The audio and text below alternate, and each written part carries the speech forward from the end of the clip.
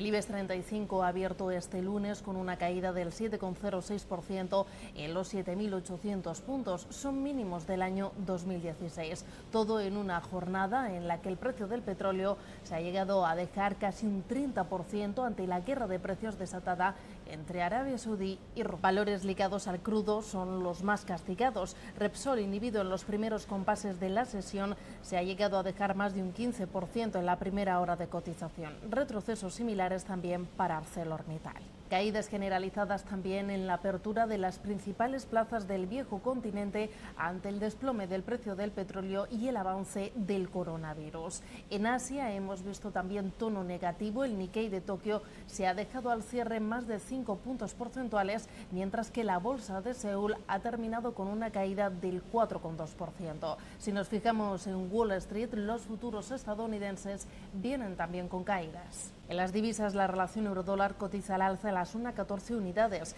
Y en el mercado de deuda, la rentabilidad del bono español a 10 años se sitúa en el 0,28%, con la prima de riesgo en los 112 puntos básicos.